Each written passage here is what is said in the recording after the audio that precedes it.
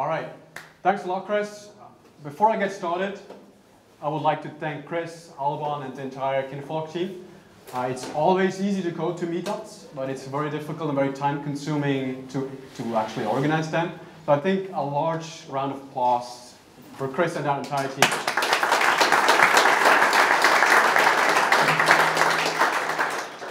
And if you haven't looked at Kinvolk's work around eBPF, in particular the, the probe they've written for Weave Scope, go look and read one of their blog posts.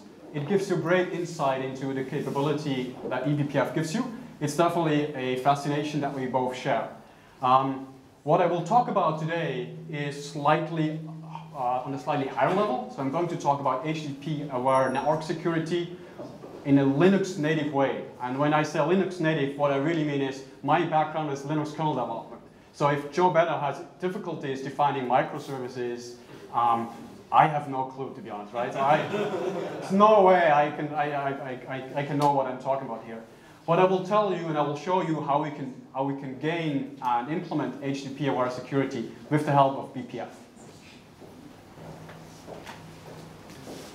Right, so this is probably the most useless slide in this audience, but this slide basically tells you that a long way back, we basically had servers, they were hosting applications that were running uh, a mail server for existence, right? And you deployed them once, and then they just run forever, and you had, a, you had, you had IT ops fixing issues. Then we moved to virtualizations and VMs, and we deployed more regularly, but still, like you brought up VMs for one particular, one particular uh, purpose mostly. OpenStack was slightly different, but most people like used VMs as pets, right? The microservice world that we're using right now, either you're already uh, deploying and using this, right, this now, this is why you're here, or you're trying to move to that model. This model means deploying uh, once a day, or even multiple times a day, or even multiple times an hour. And this is changing the way we have to like, interact with infrastructure, right? If you look at servers, you could build a firewall that basically knew the physical location of that server because it would never move. With a VM, you, you knew it's inside the data center and it, it would exist and the, the firewall configuration could be tied to that VM. With a container, that's very different, right? You have services, they consist of containers, and you somehow infrastructure has to solve everything in terms of um, security, storage, networking, and so on in this highly volatile um, environment. So combined, um, combined, if you combine this world and you look at network security in particular, the world hasn't actually changed much. Some of the higher abstractions have changed. We see Project Calico, we see um, Romana, and so on. We see other projects which, which have adopted container label-based security. But the underlying network infrastructure, the security policy implementation, hasn't changed. It's still based on IP tables which was fundamentally written for like a server world. It was written to bring firewalling to the server. The example on the slide is one, one IP tables command that even if you, if you define your, your policy based on labels, in the end, it, it's getting mapped to IP tables commands. And even if you're using ipset to, to optimize this, in the end, it's IP tables and it's mapped to these old constructs which were not meant, were not built for a microservices world. The next thing I want to point out is that basically in old age, one, one, one layer 4 port would basically segment applications. So you knew on port 22 uh, you had SSH running, on 25 SMTP, and so on, right? You knew exactly if I'm allowing that port, I'm allowing that application. These days, everything pretty much runs either over 80 or even better, 443, right? You have no clue what's going on. To a network operator, it's basically just, I open that port, and it's basically, as Kelsey would put it, you're in God mode. You can basically do anything you want. You're exposing your entire API, your entire world to that service, right? If you, if you allow networking to talk to that port, you open up the entire world, right? So let's go through a specific example of what that means to network security. So I have a very simple scenario where we have two pods, or two containers, two services, whatever, doesn't matter, two services, um, a front end and a store. And the front end part makes an HTTP REST API call um, get store my, my item to the pod store. Like in a, in, a, in, a, in a legacy or in normal network security world, what you would do here is you, you would allow like the front end to talk to the store on port 80. That's what you can do. Like that, this is the ability that you have on layer 3 and layer 4. Right? You don't have any further visibility. If you look at uh, the actual API, so this is the API that you, would, that you want to access. But uh, the store has additional API endpoints, right? You might not even be interested in it, but by opening up, you're not, opening, you're not only opening up the API call to like the get function, but you're also opening up the API to like accessing, for example, like the put to slash store, or even like a, um, a configuration um, API or the health function that is accessed by Kube, right? So the entire API is your attack service, right? It's not just the API call that you care about. So basically in layer three, layer four security world, you want to access the get function. So you have to open up port 80. By doing so, you basically expose all other API endpoints at the same time, which means if they contain sensitive information, if they allow manipulation of something that is unwanted, you expose whatever consumer you allow to the, give it the ability to, to leverage those APIs and, and potentially do um, things that should not be going on, right? So basically, layer 4 security has become meaningless in a microservices world because everything runs over port 80. So how can you fix this? Well, let's switch back. Let's go back to like no policy apply. We have the, the front end, we have the store, and with the API the store is uh, exposing. What do we really want here?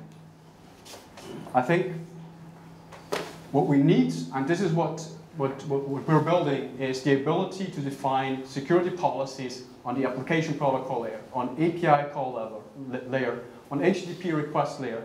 The ability to say, like, front-end pod can talk to pod store, and it can only do get slash store.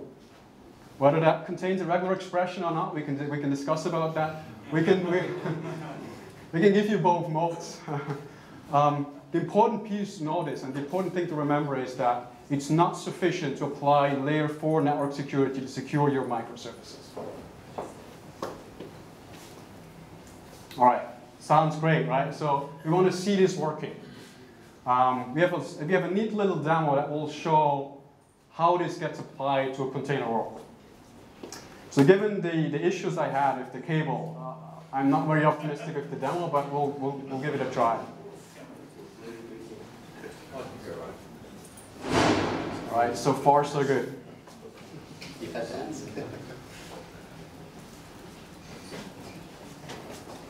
All right, so the demo is, is running inside a VM.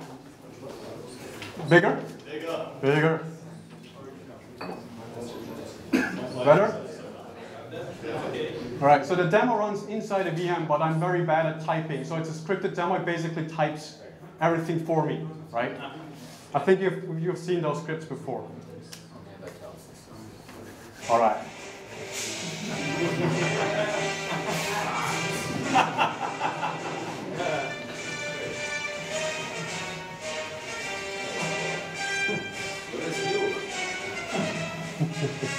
Somebody actually knew that uh, the, the exec intro. That's nice. All right, so the story we're using here is Star Wars. And I'm going through an example where like the, the, the, the, rebel, the rebel alliance is fighting against the empire, and they're using network policy uh, to protect their services. So this is using Docker libnetwork. So the first thing I'm doing is I'm creating a libnetwork called space. So all the containers that we're creating will be tied to that um, space network. And basically, this is how you tell libnetwork that to use a particular network plugin. So basically, I've created a network, and we're, we're saying use, uh, use the driver Cilium, use the IPAM driver Cilium. That's all we've done so far.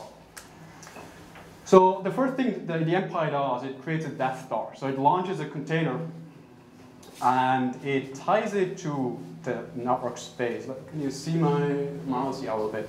Um, it gives it the name Death Star, and it attaches it a label like ID Empire Death Star. It's a Death Star that belongs to the Empire, right? So we launched that container. So in order for spaceships to land, right, the Empire has to establish a network policy which allows spaceships to land. So that's what we're doing here. And what we're showing here is like Cilium policy. This is JSON, very simple. You could do the same thing using Kubernetes network policy. That's more verbose, so I'm using the Cilium uh, JSON format, but it, both support the exact same feature set in that sense. So what this policy says, it has a name, it has the name root, it, it belongs to a root node, and the first rule basically says, if you have the, uh, the, the label ID Empire Death Star, then anything that has the label ID.battleship can consume you. Right? Based entirely on, on labels. As you see, there's no IP addresses, there's no ports involved here. And the second rule says if you're a Death Star, you can only accept incoming connections on port 80. That's the layer 4 security aspect in this. Right? So we're loading, we're loading that policy into Cilium and obviously we want to, like Empire wants to test that policy. So they're launching another container, and this container is also in space. It has a name, fighter1, and has a label, id.spaceship, right? So we're listing, using Cilium to list, right? So the screen breaks it, but you, you will get the, the point. So the Cilium endpoint list shows the list of locally managed endpoints. We see you have two containers, they have an ID, they have an identity, a security identity, they have labels, they have an IPv6, an IPv4 address, and the state is ready, right?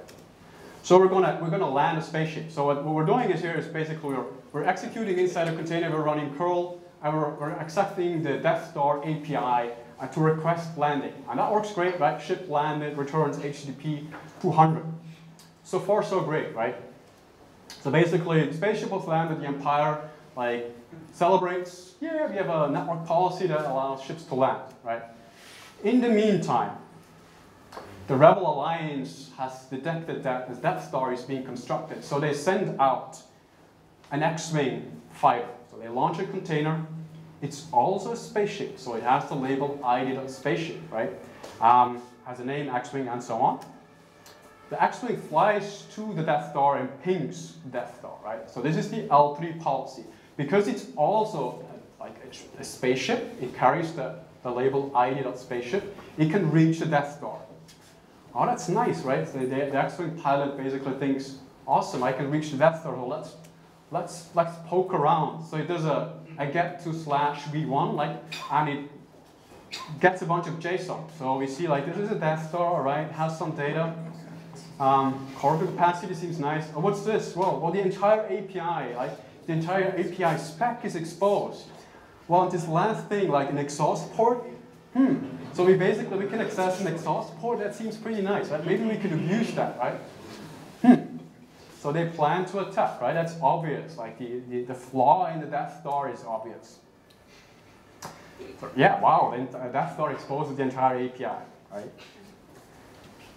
In the meantime, though, the Empire has actually detected that the Rebel Alliance has sent out the ship, so they want to protect themselves. So they're going to like, adopt Cilium HTTP proxy, and they're going to load the following policy, and I will walk through that. It's not that difficult. It looks more difficult than it is. So the first part is still the same. basically, it's the L3 policy, which says a spaceship can talk to a Death Star. And then the second part basically says, if you are a spaceship, you can only do the following API calls. So you can only do um, a get to slash v1. And you can do, you can only do a post to, to slash v1 request landing. So that's the only two API calls that are allowed. So all the other API calls are not listed, they will be protected, right? That's the policy that we now load. So we load that policy into Cilium, and the rebels attack, right? So they, they can ping, fine because we didn't change the L4, L3 policy. The L3 policy is still in place, right? Um, then they attack, right? So they attack the exhaust port and they're going to issue a curl to like that Star slash exhaust port. So doing that. Whoa, access denied. No, right? Shields are up, right? That the, the, rebels could not attack the Death Star. The Empire has protected their API endpoints. End of demo. All right. All right.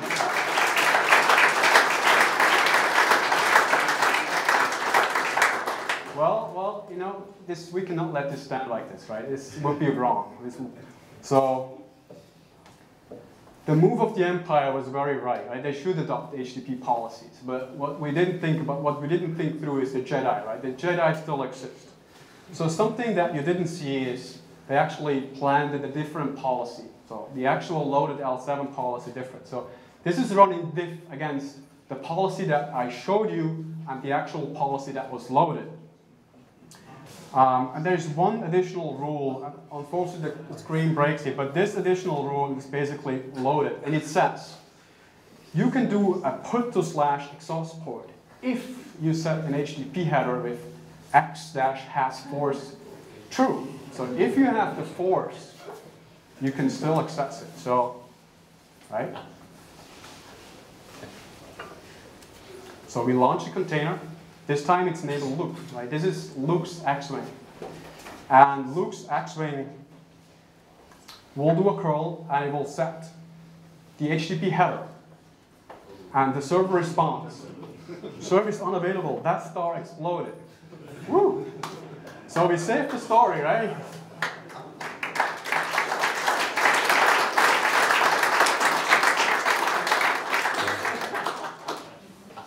I'm not pinning the Death Star. The Death Star is, is really gone, right?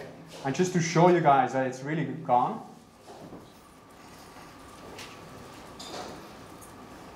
we should see the Docker logs of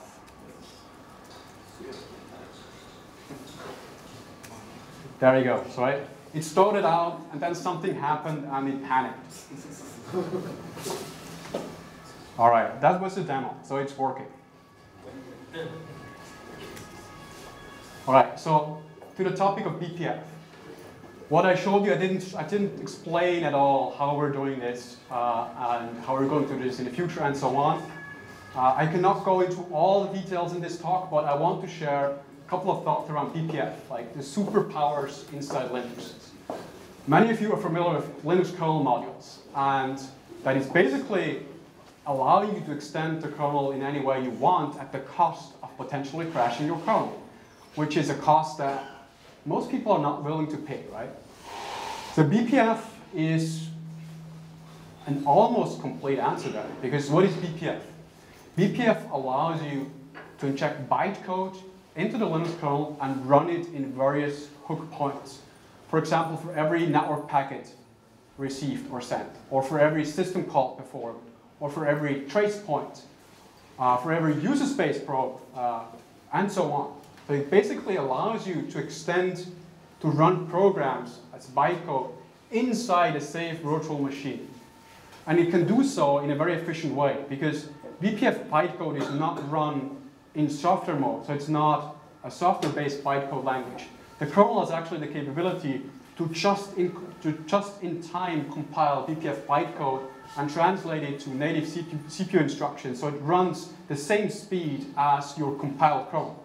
So what I'm basically saying is you can recompile small parts of your kernel without rebooting it and running it, run it inside a safe sandbox environment. That sounds amazing, right?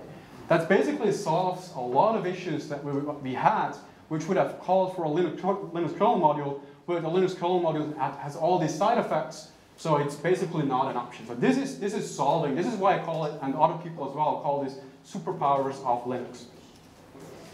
So this is how BPF looks like, right? So it's basically, it's instructions, it's x86 assembly-based in, um, instruction set. You can write it this way, right? Some people do. Some people enjoy doing that, right? if it's not your thing, then this is the next best thing, right? So how can you leverage BPF? BPF has an extensive tool chain. I will go through the entire process. So the very beginning is source code. The source code is pseudo C code. It's basically C code, it's a limited C code set. So you can write that pseudo C code. Then you can feed that through LLVM, which is a compiler tool suite, and has a BPF bytecode backend. So you feed it through LLVM, and what will output is BPF bytecode. Now you have bytecode, awesome. So you can load that. So you load that into the kernel. This is where you where you cross the boundary between user space and kernel space. You're doing a system call to load the BPF bytecode into your kernel. The kernel looks at the bytecode and will actually walk through every instruction and will parse and ensure that the entire program is safe to run. So you cannot have um, loops inside your program, because if you have loops, you could loop forever. This could crash your kernel. You cannot just call into arbitrary kernel functions. You need to use a well-defined, whitelisted set of BPF helpers, which is basically exposed API functions. You can, do, you can use data structures, but you cannot just leak kernel pointers to the outside. So everything is well-defined. This is, this is the verifier's job. And unless there is a bug inside the verifier, a BPF program cannot crash your kernel. The next step is to JIT compile it. So this will translate it to x86, ARMv8, whatever instruction set that you're running. There's a couple of platforms supported, almost all of them. Uh, new ones are coming, uh, um, are getting supported um, more and more. The next step, once it's been JIT compiled, it will actually inject the BPF bytecode into whatever hook that you have selected. For example, I could run it for every packet that is being received on a network card. The BPF program, and this is what Cilium does, can then look at the packet content and at metadata and so on, and decide to which process, to which container, to which network namespace, to which AF network namespace to forward that. This is, this is how we apply BPF to networking. The second possibility is you can attach it to a system call. So basically saying, if you, whenever your container is doing a write system call to send out data, please run my BPF program. If you look at policy enforcement, security, networking, what usually happens, the application does a write system call, the kernel constructs an entire packet and starts sending it out. Then a small program will looks at the destination and the source IP and figures out whether this is allowed, whether this is allowed, and if not, it will drop it again. Like this is completely meaningless. Why would you construct a packet in the first place if all you do is drop it again? Well, with BPF, what we can do is we can check at the write system call time whether the packet that is about to be constructed is actually allowed. And if not, we will simply return an error code straight back to the system call. So we're not even going through the cost of actually constructing packets and solving this. We're solving this as early as possible. And your application can actually know why the packet was lost. This also means immediate response. This does not just drop packets and then TCP retransmissions will kick in and you have to wait for your service to time out. You will see an immediate error like connect, access denied means like if you store a microservice and policy denies it, you don't run this like logs filling up with, uh, with um, timeouts. But how does this relate to HTTP? Like you saw an HTTP demo, and now you're talking packet level, um, system call level stuff, right? What BPF can do, we can, we, can, we can intercept the packet as it goes into process. This is what Cilium is already doing. And then with the help of BPF, we can transparently redirect all traffic to a proxy. Why is this important? If you look at other approaches to doing this, they will, they will leverage, for example, an orchestration level construct such as a service. So basically, if you have a couple of backends and you want to put a proxy in front, you will define a service, and instead of directly redirecting to the backends, you will redirect to the proxy, and the proxy will know how to reach the backends. But what if you directly talk to the pod IP and not to the service IP? You bypass the proxy. So you cannot leverage this approach for security. This is where eBPF kick, kicks in. We basically, every packet that the container generates and feed it through a proxy, there is no way you can bypass the proxy. So all of a sudden, we can do HTTP security with a proxy. But that's not all of it. The second part is, if you look at most proxies, what we will do to figure out the actual endpoint, they will look at the host header inside the HTTP header. So inside the HTTP header is a header, host, colon, and then the actual IP. And most proxies will actually just forward to that IP. What does this mean? If you're, if you're sending a packet, you can basically, like a, a container can, can manipulate that host header any way it wants. And you could steer the proxy to basically forward to any IP, right? For security purposes, that's not ideal. So what, what do we do instead? With BPF, we can share metadata between kernel space, BPF space, and the proxy. So what we're doing is we're looking at the packet and the original destination address, and we're sharing that address with the proxy. So the proxy can actually forward to the, to the IP that the container wanted to send. The container cannot bypass by um, manipulating the, the host header. So you can, you can can reinject or it can send back an X69. Right? This is the policy enforcement mode of uh, a proxy. I will not dive into all the details of Cilium, just like on a very high level. So what is Cilium? Cilium is, consists of an agent, which is written in Go. Uh, it generates BPF programs and injects that bytecode into the kernel. It has a CLI, it has a monitoring component, it has a policy repository, and it has plugins. And plugins would connect Cilium to Docker runtime, to um, Kubernetes, to Mesos, other orchestration systems. So Cilium would in most scenarios be invisible to you. It would receive events that the new container is started. It will fetch the policy, for example, network policy, and implement that. Right? So it's running as an agent just like most, most other agents. Um, I didn't. I, I, focused this talk on, on network security and HTTP security. A couple of other benefits of actually generating BPF bytecode for every container. So when I talk BPF, generating BPF bytecode, this is not a single program. What we're actually doing is, when a container is starting, we'll look at the configuration of that container, we'll look at its needs, and we'll generate a BPF bytecode program that is tailored to that container. Which means, if your container has IPv4, but doesn't need IPv6, then we'll simply leave out all the IPv6 code. If it requires port mapping, more port mapping, we will include that code. If it doesn't need it, we will exclude it. This leads to the minimally uh, required code.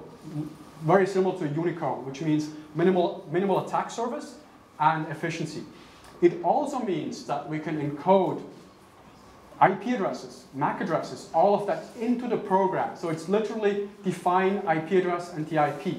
It's not fetched by, from memory or something. It's basically in a register, like in a BPF register. So it's extremely fast because it, we can optimize for that container. Container has this IP address, right? The check to verify whether it's using the proper source MAC address, and the proper source IP, is basically hard-coded in the program. So everything is very, very efficient. And the last thing is we can, we can regenerate BPF programs at runtime without losing any state. This means you can you change something, it needs a change to the BPF program, you regenerate it, we atomically replace it, you don't lose any connection state, right? We can change, for example, the load balancer mechanism. We can change it without losing state. We can include H, we can include IPv6 support, you're not losing any state. We can even include debugging statements. So if something is not working, you want to know why. You're including debug statements in your BPF bytecode, regenerate it, and it runs. You, you're not losing state, you're not, you don't have to restart your containers. Those are the broader benefits of BPF generation, in particular for microservices and containers.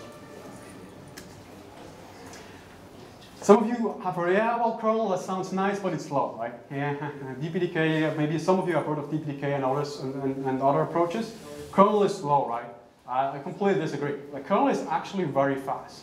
So the the diagram you're seeing is the performance between two containers on a single node. So it's not using any network hardware.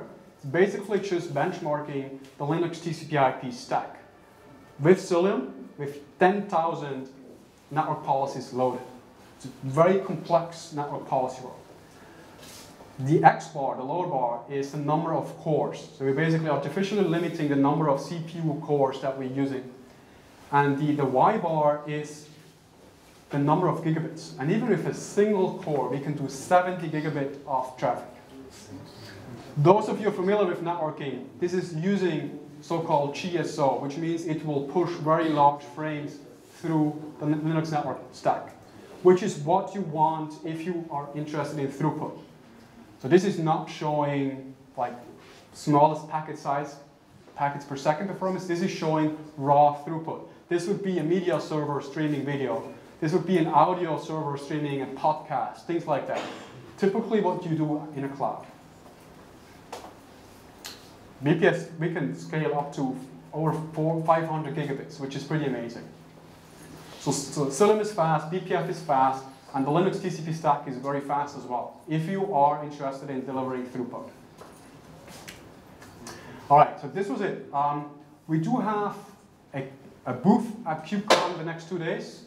If you want to learn more, if you want to see the demo again, uh, come, uh, come, come to us. You can ask us any questions. We're around here um, um, after this event um, as well. We also have T-shirts. So T-shirts are very, very fresh, fresh off the press. All right. HTTP security. And we also have laptop stickers. So feel free, come, come to the front and grab your shirt. I think we, we have a couple of minutes for questions as well. How did that um, spaceship label get from the container down into the packets? All right, so the, the question is how does the label, how is a label represented in, on the data path on the packet level? So what we're doing is we're, we received the labels from the container runtime, so we know the labels of a container. The first thing we do when we see a new container started is we will determine the identity of that container, and the container identity is based on the labels. We will then ask etcd, I will ask, have you seen this combination of labels before? And if so, give me the identity. And if not, create a new identity. This identity is a cluster-wide unique ID. It's a number.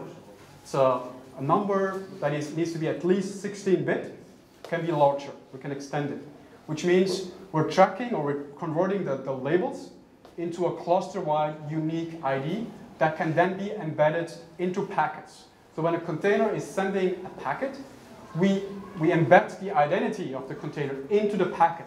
So if the receiving server, where the destination container is hosted, sees the packet and receives the packet, it can, it can re reverse translate the identity to the labels, so it actually knows the labels which were used to, to, to start a container which sent the packet.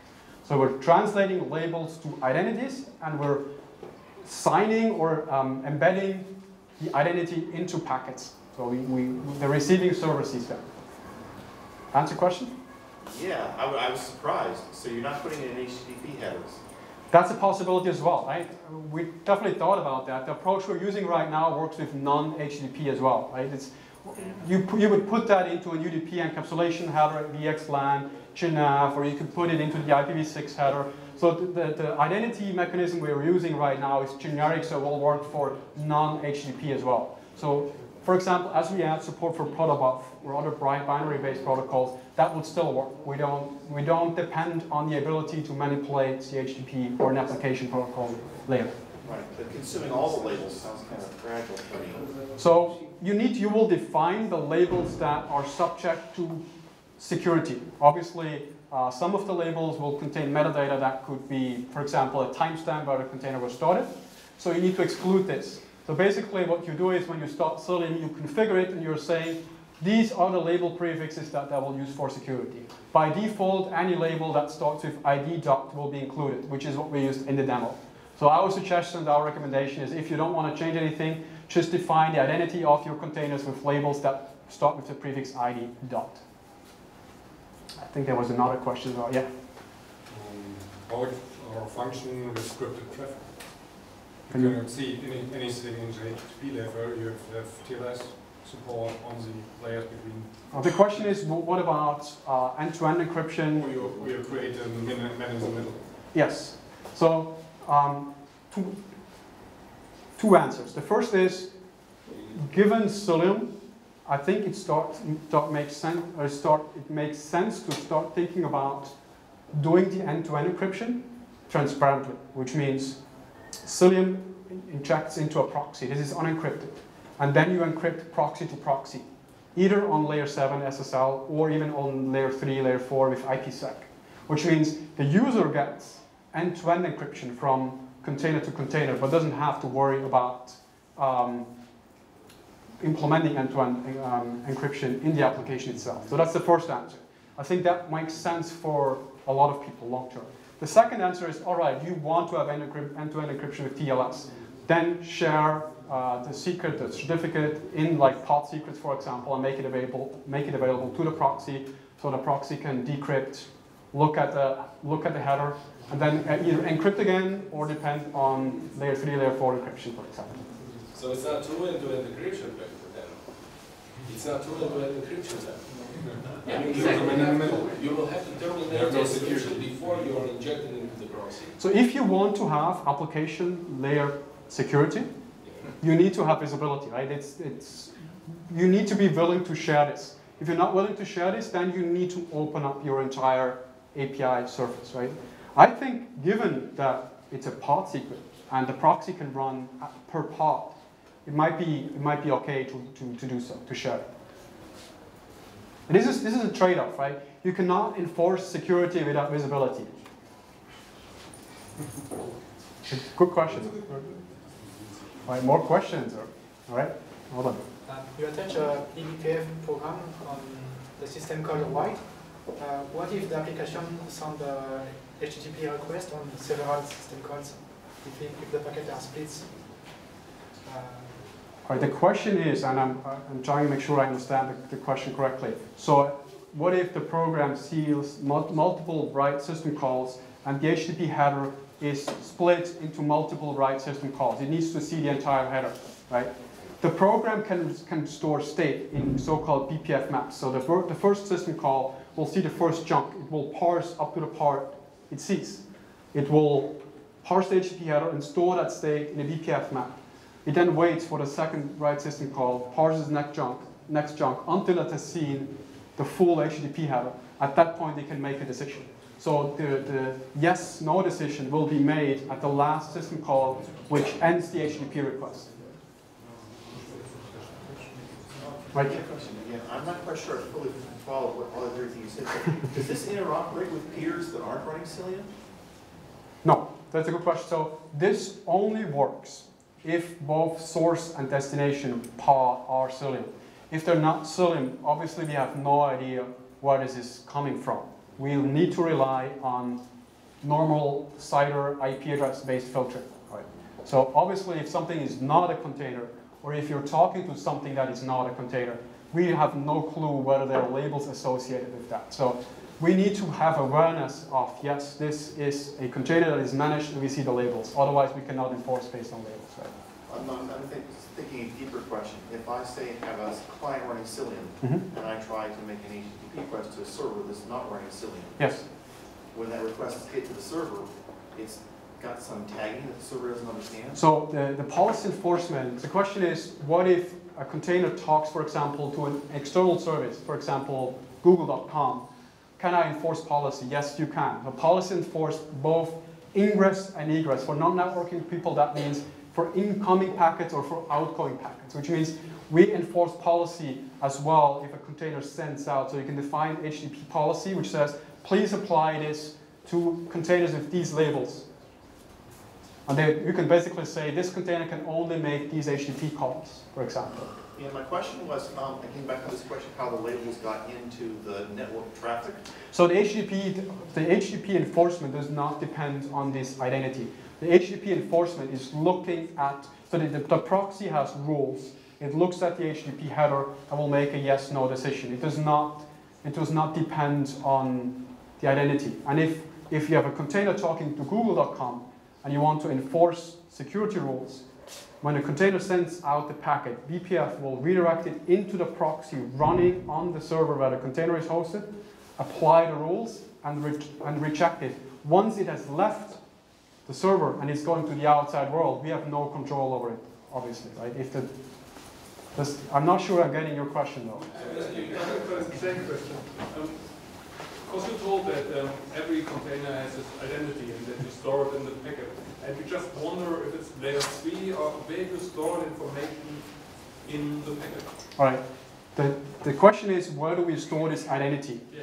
The most obvious answer is an encapsulation protocol. So if you're using, for example, you're using like something like Flannel, it will use an UDP encapsulation protocol, or use OVS, or even Cilium. We can all use encapsulation protocols, which means you have your, your underlay, which is your normal network, and then you add a small shim layer, and on top of that, you have a full stack of additional network protocols. And in that shim layer, we can en- en- encode and embed as much data, as much uh, metadata as we want. So that's option one. The second option is we can also embed it into an IPv6 header. For example, we can embed it into the flow label. If this is what you want, you can embed it into an NSH header.